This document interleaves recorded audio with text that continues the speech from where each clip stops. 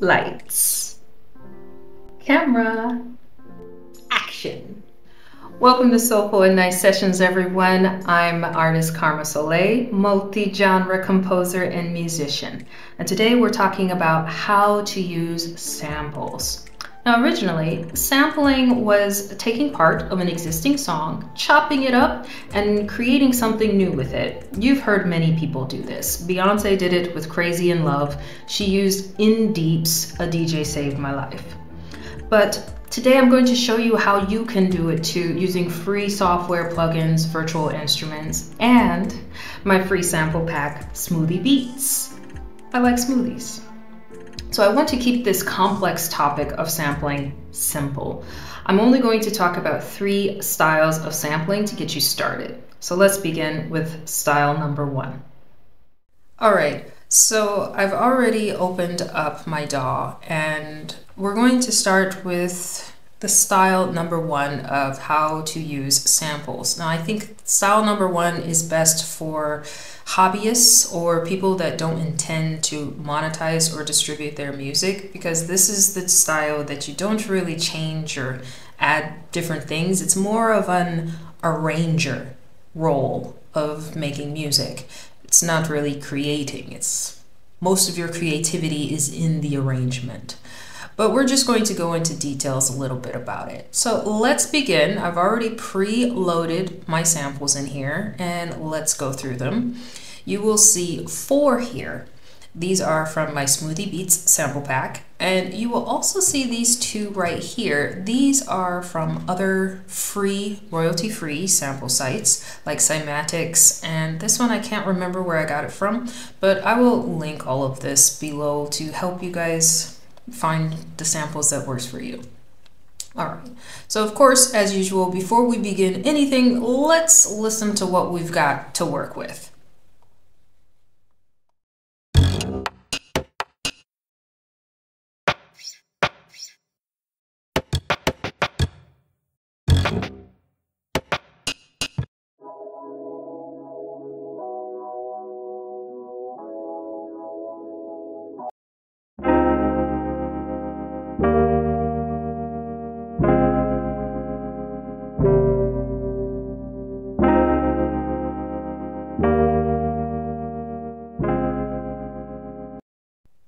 All right, so you get the idea with what we've got to work with. So what we're gonna do is we're just gonna make some kind of pattern into these first four beats here. Okay, let's say I wanna do that more times and that's my introduction. We're just going to make a simple eight bar pattern for now to give you an idea of how to use these samples. All right, maybe we'll put that one at the end that's how we'll end that. All right, so yeah, I want that to go at the end as well. So this is the arranger part that I was telling you about. It's just, okay, where do I want that sound to go? And for the last one. So that one's a little more complicated. I'm thinking I might want to do something else with that because just who I am. So what I might do is I'll leave that there like that, remove this one, and here we go. So let's hear all three of these together for the full eight bar pattern.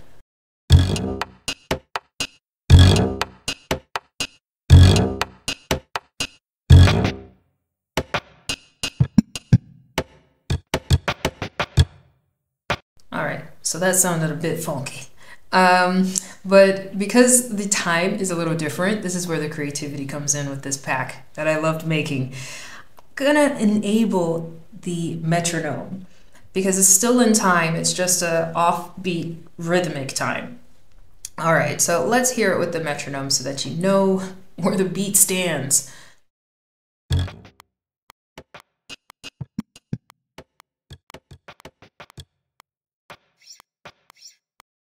All right, so not so bad. Now that we've got our drums here, let's listen to this other sample, um, these melodic samples here, and see what it sounds like. Let's listen to cymatics first.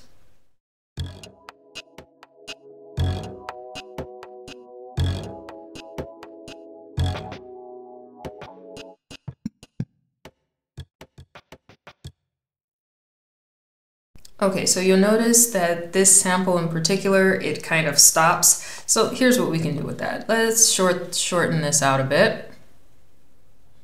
Uh, add a fade, duplicate, boom. We've got our sample and we're gonna end that at eight bars.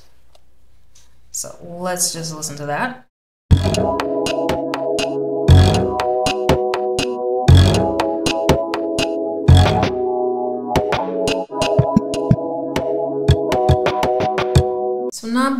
Let's listen to what it would sound like with the other sample.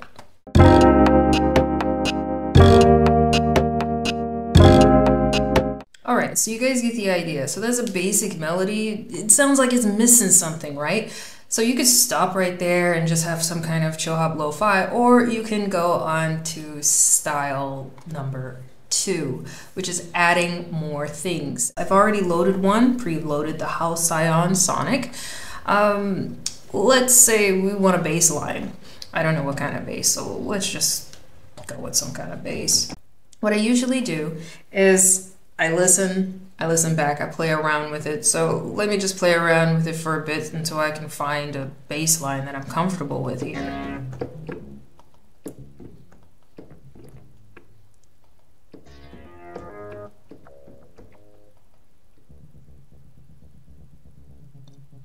I don't know, that could work. uh, okay, kind of liking that one.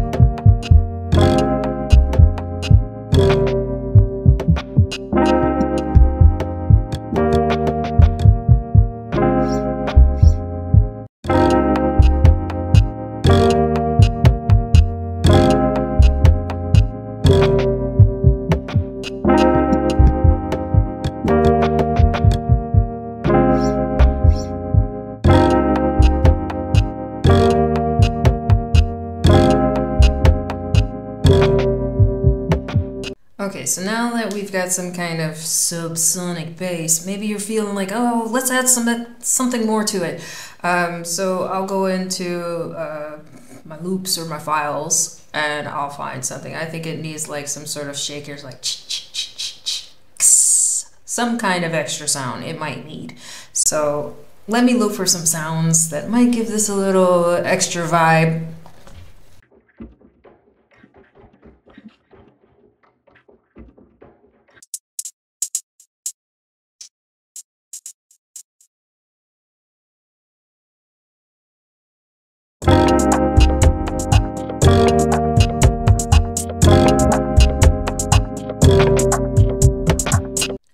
So that was an example of how to do sampling with style number one. Now style number two, this one is more for you indie pro producers and musicians. This is how you make the sample your own.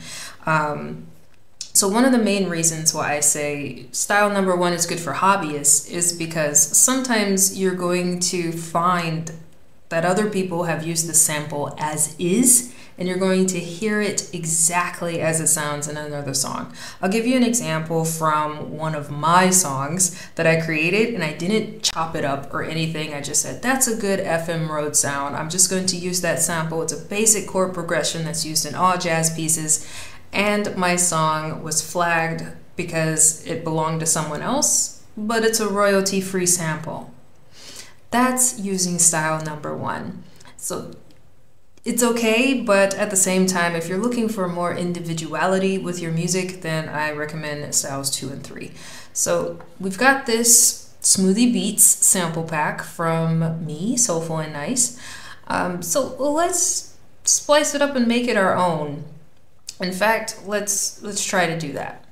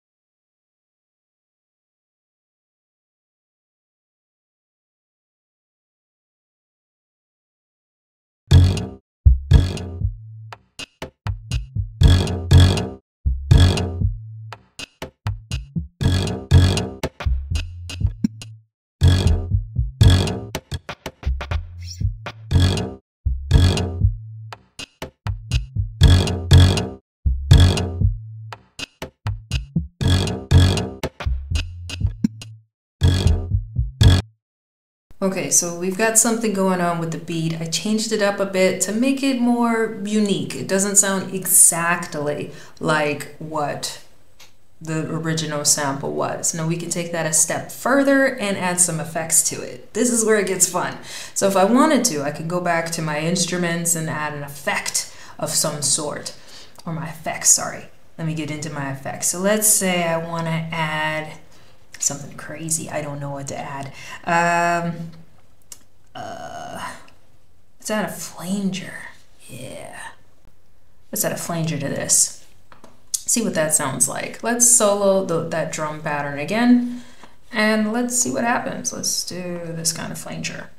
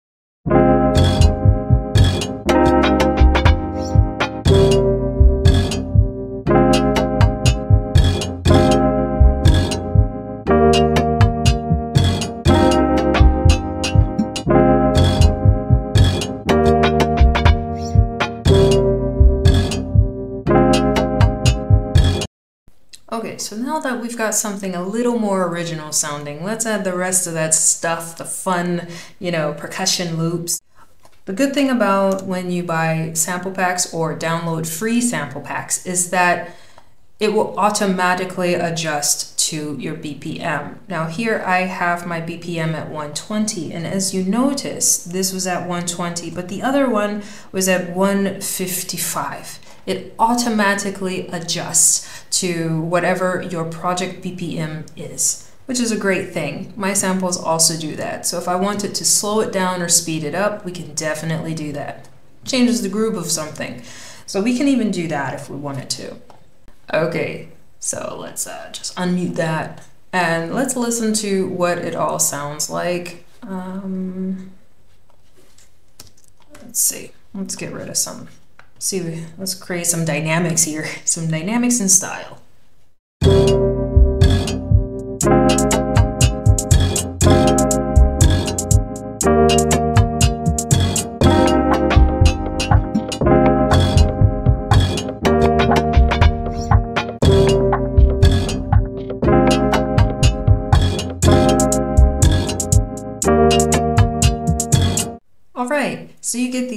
So that was style number two. It's it's great for indie musicians, pro musicians, and composers.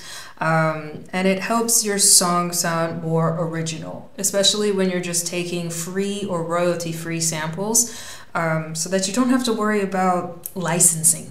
If you want to make a lot of money um, making something that you created, you don't want to have to worry about licenses. So style number two is a good way to do that so that you don't have to worry about any of that. It's more original as you can see and we can layer more and more instruments on top of this but let's stop there for now and go into style number three. So style number three is a lot like style number two, but this time we are going to do more of the original sampling method.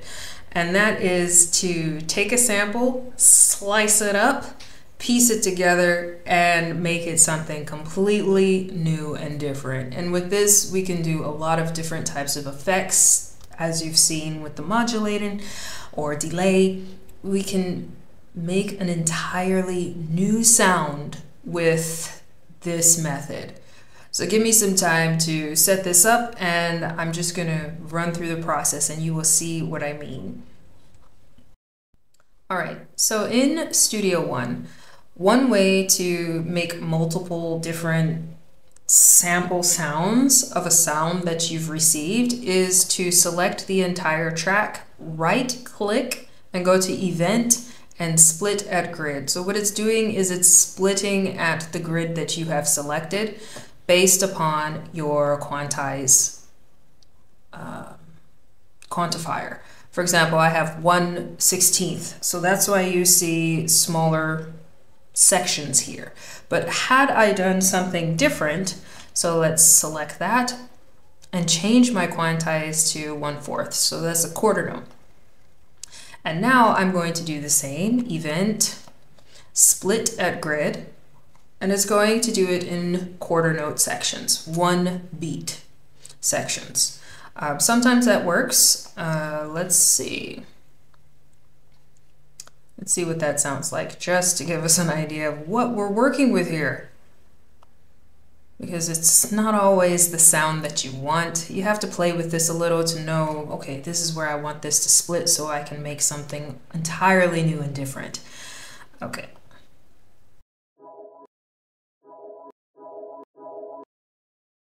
Okay, well, it's good enough. I think I would actually prefer to do something different, come to think about it. So I'm going to undo that and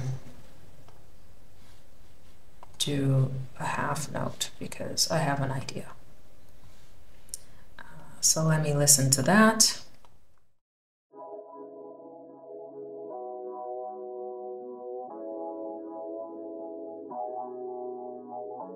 Okay, so that works for me. So what I'm going to do is I'm going to select these again, right click, and then I'm going to go into audio and I'm going to send it to this lovely impact so when I send something to Impact, it puts those same sounds that I just created onto these pads. So let's listen.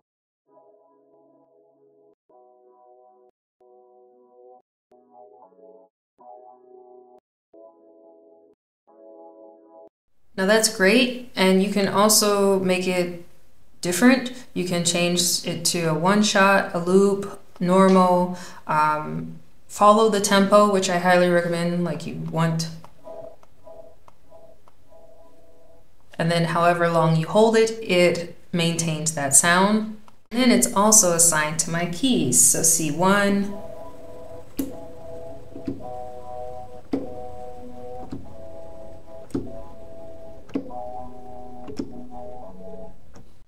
So that's what that sounds like. So I'm just going to play around and get creative and record this to our project.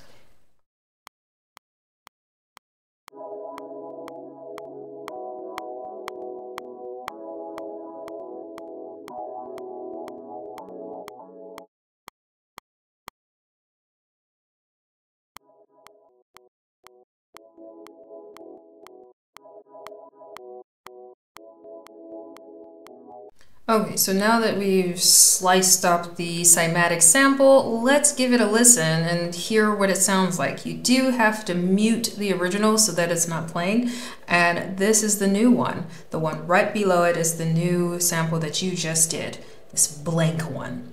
So let's hear what it all sounds like together. And I'll put this one above so that we know the ones below here are the ones we're not using. So let's do it and hear it all together. Let's unmute everything aside from this one here. And here we go. We've just created our own sample. Please do not take this because it's mine. You have to create your own, okay? So don't take my ideas, create your own. Just use mine as a reference on how to do it, okay? So let's listen to what we did.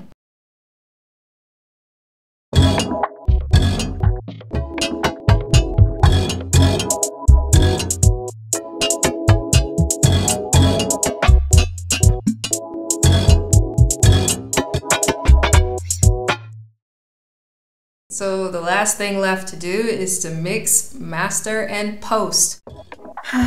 we did it. We have used the Soulful and Nice Smoothie Beat sample pack and made something new and different. And you have learned three styles to use samples and make it your own original music.